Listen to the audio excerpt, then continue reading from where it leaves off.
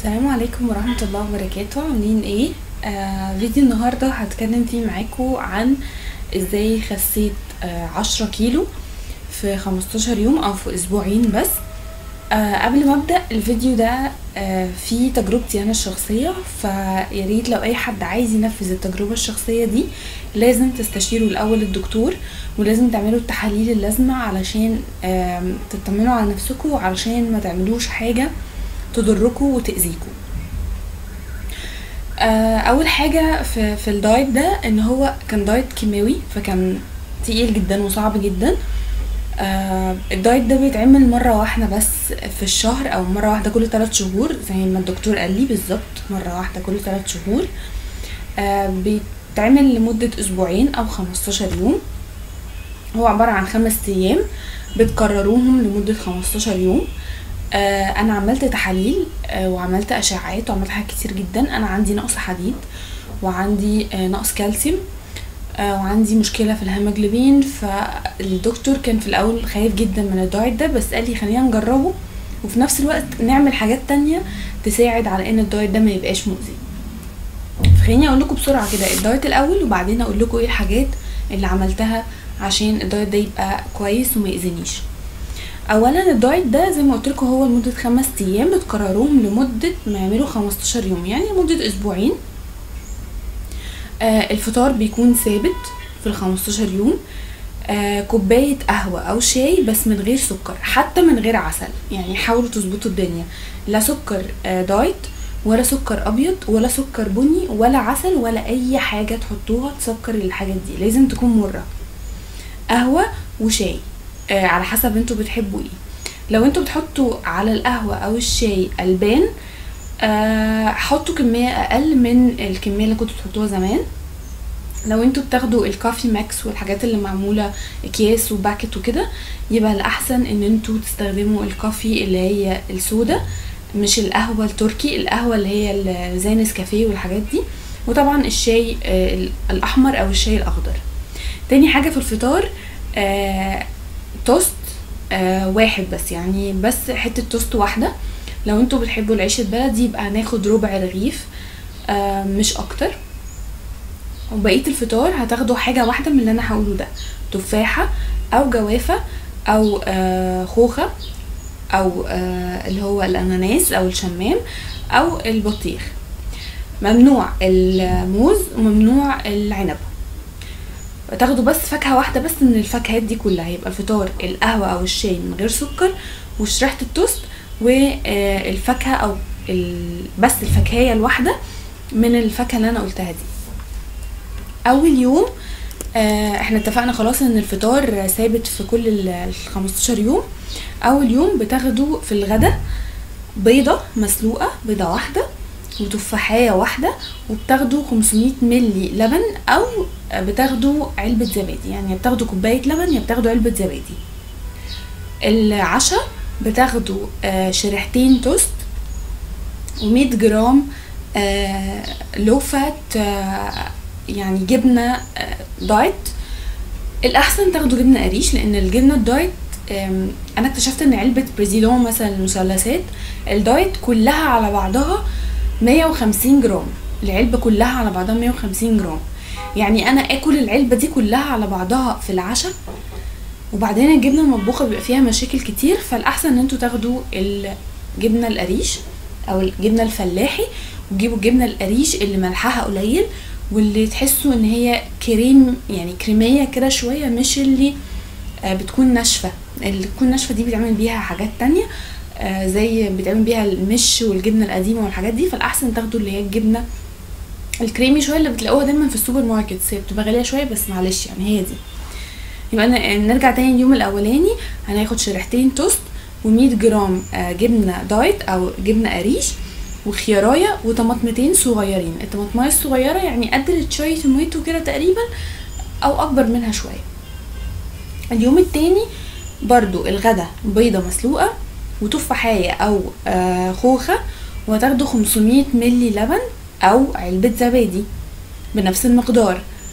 آه العشاء شريحة توست طماطماية واحدة ومية خمسة وعشرين جرام حتة لحمة. لو أنتوا ملكوش في اللحمة يبقى 125 جرام فراخ. 125 جرام فراخ يعني خلينا نقول قطعة بانيه بس المهم إنها تكون grilled أو roasted يعني المهم إنها تكون مش معمولة ب fats. وبقية العشاء تفاحة وكوباية شاي. على حسب بقى شاي أحمر أو شاي أخضر. الأحسن إن أنتوا تمشوا على الشاي الأخضر. اليوم الثالث آه الفطار آه سوري الغدا هيكون بيضة مسلوقة مع 500 ملي لبن أو زبادي وخيارتين وتفاحية وكوباية عصير. كوباية العصير ما تزيدش عن 250 ملي يعني تقريبا قد علبة العصير اللي بتجيبوها من بره. بس ما تشربوش العصير اللي موجود في العلب اللي موجودة بره سواء كان pure أو مش pure اشربوا العصير المعصور يدويا. يعني تجيبوا برتقان تعصروه تفاح تعصروه أو في بعض ال supermarkets بتبيع العصاير دي معمولة من غير سكر. زي هايبر وان وكارفور وفي في, في, في اكتوبر أو في, في زي بتوع القصب مثلا عندهم فاكهة من غير سكر عصاير. فدي الأحسن إن أنتوا تستخدموها يعني. وطبعا الفاكهة ما تخرجش بره الفاكهة اللي إحنا قلناها. طبعا عندنا أناناس نقدر ناخده التفاح. ما, ما نروحش ناحية الموز ولا المانجا ولا الحاجات دي ولا الفراولة. العشاء شريحة توست و125 beef or chicken يعني ناخد يا لحمة يا ناخد فراخ برضو. إحنا اتفقنا على الميزان خلاص واتفقنا على طريقة الطبخ. يا إما متشوحة أو معمولة جريل أو حتى معمولة سوتيه وتفاحية وكوباية شاي برضو من غير سكر زي ما اتفقنا ممكن يبقى شاي أحمر أو شاي أخضر. اليوم. الرابع الغدا هيكون شريحة توست. ومية خمسة وعشرين جرام جبنة diet اللي هي جبنة القريش وطماطمية واحدة. العشاء هيكون شريحة توست وطماطمتين ومية خمسة وعشرين جرام بروتين اللي إحنا اتفقنا عليه اللي هو يا لحمة يا فراخ ومعاه تفاحة.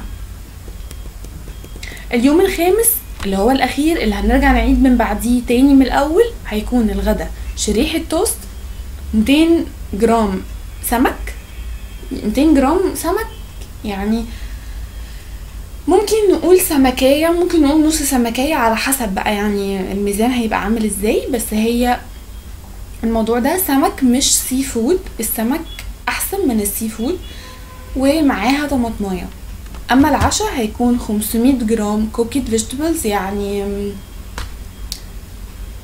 500 جرام خضار مسلوق زي ما بنقول.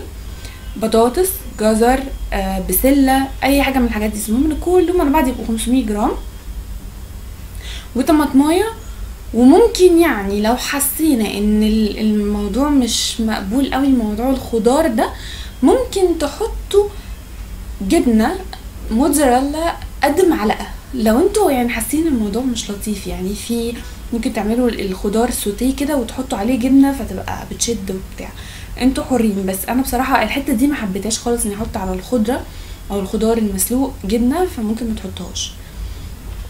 كده ده ال diet اللي أنا مشيت عليه. مشيت عليه لمدة 15 يوم ونزلت 10 كيلو. وقبل ما اعمل ال diet عملت تحاليل اللازمة عشان اطمن على نفسي. طيب أنا عملت إيه بقى عشان ال diet؟ هو المفروض ال diet ما ينزلنيش الرقم ده المفروض ما ينزلنيش 10 كيلو. ال 15 يوم كان المفروض انهم ينزلوني بس 5 كيلو. إنما إيه اللي خلى الوزن يبقى أكتر كده في النزول؟ اللي خلى الوزن ينزل كده أكتر في النزول إنه أنا كنت بشرب مية. وقبل كده عملت لكم فيديو كلمتكم فيه عن إزاي تشربوا مية. لو أنتوا ما شفتوش الفيديو هحطه لكم دلوقتي في ال description box وكمان هيظهر لكم فوق على الشاشة تقدروا تروحوا تشوفوه. هو ببساطة application كنت حطاه على الموبايل كان كل نص ساعة بيفكرني إني أشرب مية فكان لازم أشرب من. من 8 ل 12 كوباية مية يعني تقريبا 3 لتر مية كان لازم أشربهم. آه تاني حاجة عملتها الديتوكس.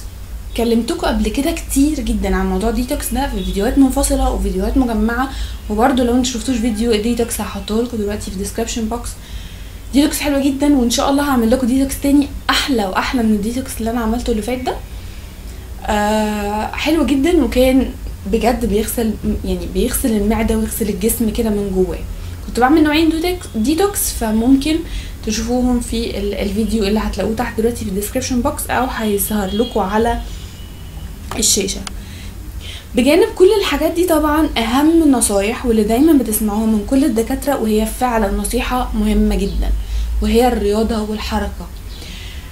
أنا لو ما كنتش بتحرك وما كنتش بعمل رياضة ما كنتش ها يعني هاخد بالي من الموضوع ده قوي أو نزول الوزن. لأنه أنا كمان لما نزل وزني جسمي اتشد لاني كنت بلعب رياضة.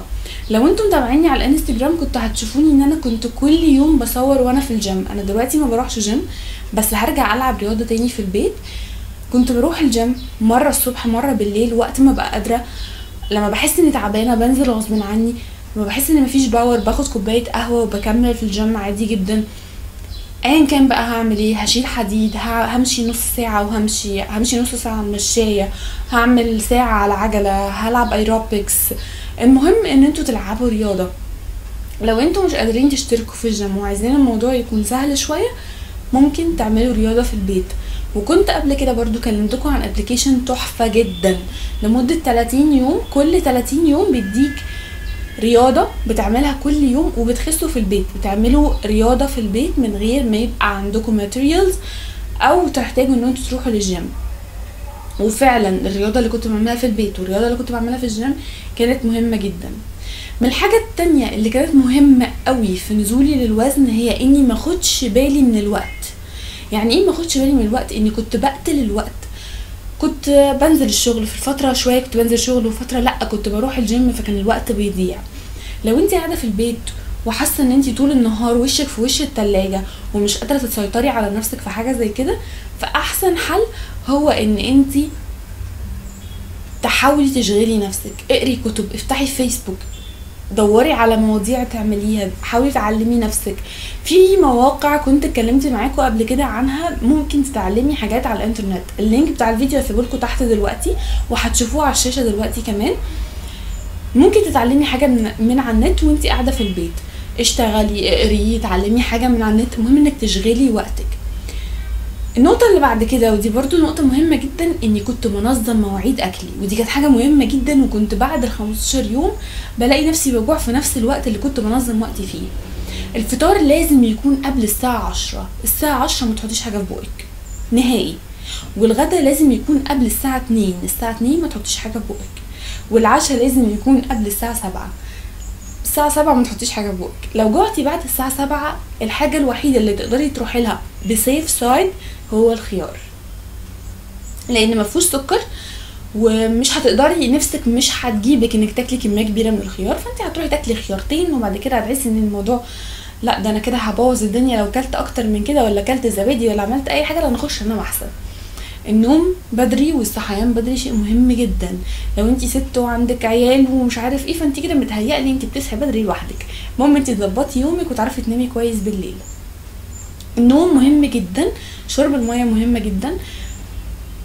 إنك تطمني على صحتك برضو شيء مهم جدا. لازم تروحوا تسألوا دكاترة يا جماعة. حتى لو انت مش هتكملي مع الدكتور روحي قولي له أنا عايزة أطمن على صحتي. هيعمل لك آه كشف ويعمل لك فحوصات ويطمن على صحتك ويقول لك إيه اللي ناقصك وإيه اللي انت محتاجاه. أهم حاجة لو انت ناوية تعملي ال diet ده طبعا بعد إن انت تسألي الدكتور إن انت ما تعمليش ال diet ده كتير لأنك لما هتعمليه كتير أول حاجة ممكن تنزلي وزن زيادة عن اللزوم فتتعبي.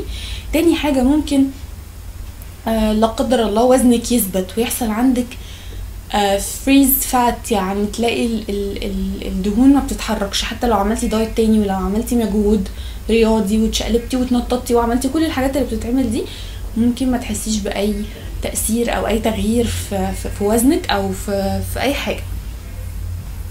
فدي كل النقط المهمة اللي أنتوا محتاجين تعرفوها عن موضوع آه أنا خسيت إزاي. أنا هحاول أحط لكم صور ليا before and after هحاول ألاقي صور ليا يعني. أنا نازلة نزلت من الوزن بس عشرة كيلو. آه أنا المفروض أنزل حوالي دلوقتي حوالي كمان عشرة كيلو كمان محتاجاهم علشان أبقى حاسة براحة نفسية. اكتبوا لي تحت في الكومنتات وقولوا لي رأيكم. أنا عارفة إن الفيديو ده كان المفروض أسجله بقالي فترة طويلة بس اتأخرت وغصب عني والله. حتى أنا كمان كنت عايزة أطلع في الفيديو ده بس لأني كنت مستعجلة فسجلته لكم بسرعة وعملته لكم كده علشان أنجز بسرعة وعلشان ما اتاخرش عليكم.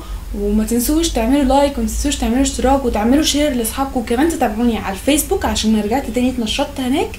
وكمان على الانستجرام وتابعوني دايما عشان في مسابقات كتير جدا جاية في الطريق. عايزين نوصل لأكبر عدد likes على الفيسبوك. عايزين نكسر الدنيا على الفيسبوك. بحبكم جدا وأشوفكم إن شاء الله في فيديو جديد وسلام عليكم.